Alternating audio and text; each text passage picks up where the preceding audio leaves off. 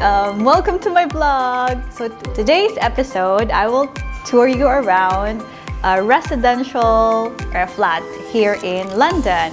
So, char, parang akin lang. so ito po yung flat.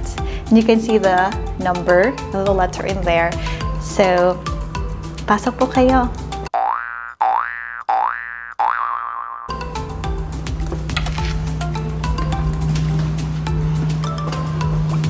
So in here po, meron pong four rooms. So that's four.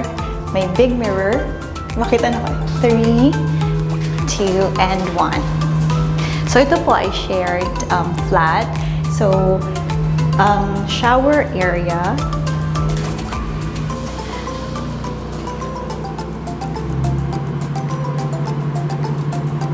Yeah, so yan po yung shower area. And you can see po yung mga shampoo and conditioner po in there. And then dito naman ay ang toilet. So share din po ito with sink. And then here, So ito po yung shared kitchen. Um, so meron po dito um, stove and oven na. And then may sink doon. And then, ang fridge dito ay shared. So, because there are four um, occupants, so, maano po yan siya, assigned number na kung saan lalagay. Hala, may cake So, yan po. And then, pati po ang sa fridge. So, ang baliktad po dito, ang fridge po nasa baba sa ref dito sa UK. Ay freezer. So, 1, 2, 3, and 4. So, kung na, for example, number 1 ka, ito po sa'yo. Ganyan lang. And then, may mga cupboards naman with numbers 10. So, 1, 2, 3, at saka pati sa baba. So, number 2, for example, ayan po makikita ninyo. Meron pong toyo, asin, magic sarap. Sa baba naman, yan po sa pagluluto and cooking cooking stuff. Utensils. cooking utensils. So provided po ang mga appliances dito yung microwave itong toaster at saka yung fridge. The rest na po yung mga tenants na po yan. If you want syempre rice cooker kasi Pinoy so importante talaga. Okay. So now um, ituturo ko po kayo inside the room kung ano po, how it looks like inside. Ito na po. Pasok na po kayo. So, ito po yung room. So, as you can see po, may bed na po.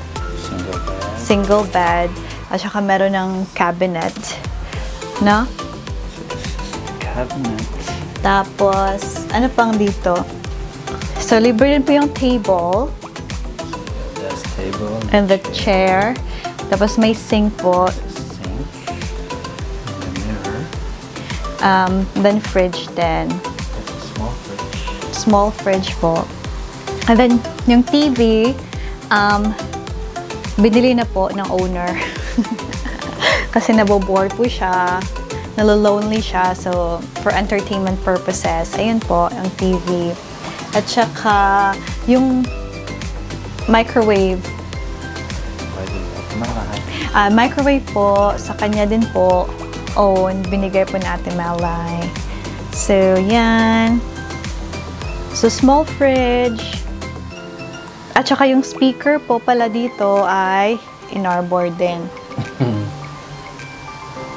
All thanks to At saka yung small fan, kasi um, during summertime, it's very hot na kailangan ng ano, So ventilation. this is the view outside. Yes, ito po yung view outside.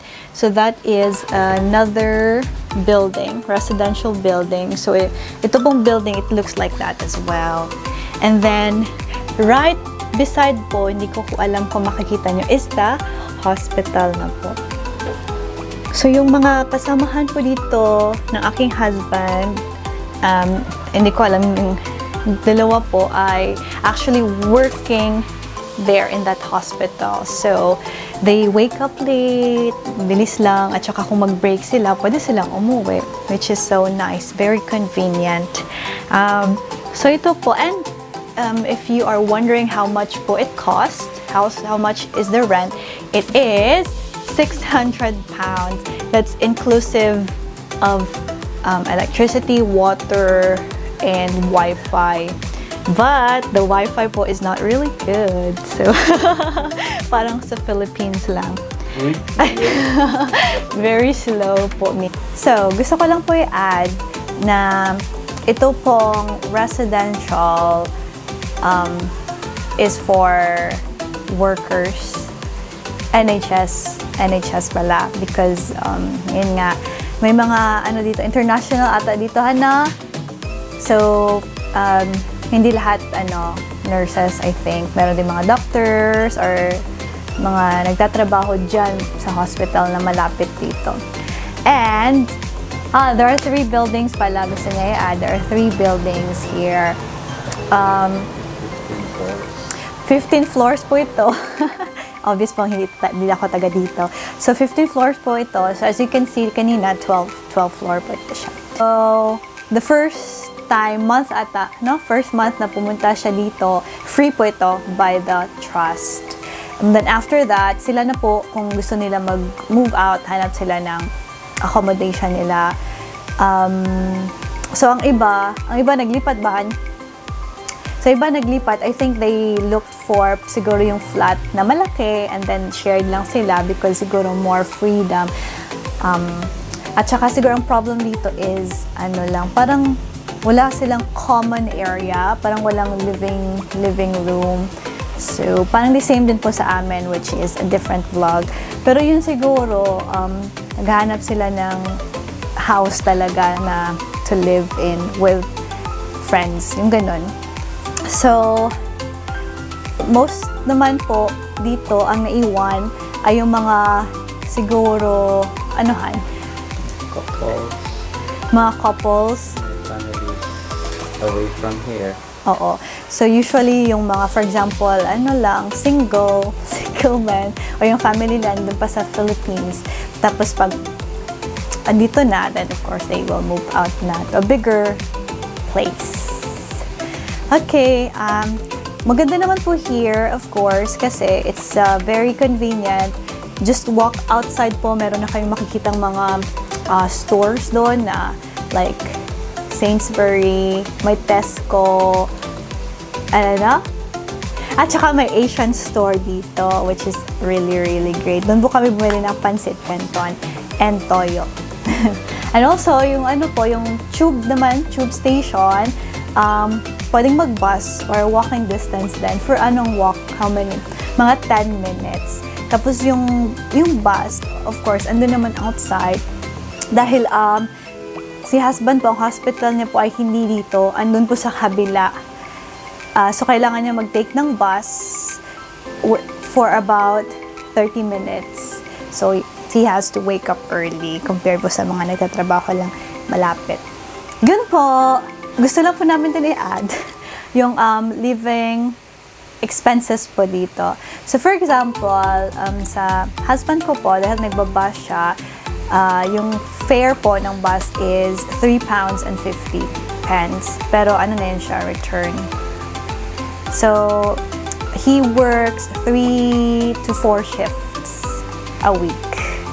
And then sa food naman po, sabi niya, here in London, um, it costs maybe 30 to 40 pounds a week. Pero depende po yan siguro sa kain mo. Siyempre siguro kung wala ka masyadong kain, you can save less. And you can really save po if mag-cook ka here. Dahil kung sige ka lang order ng order, uh, mahal po talaga kasi you're paying for the service fee and saka yung delivery fee. So, depende po yan sa iyo, sa inyo. Ah, so yes, um, gusto po namin i-share sa i-show sa inyo ang laundry area uh, kasi wala po ditong hand washing. Yan po. So tara po, we have to take the lift going to the basement po.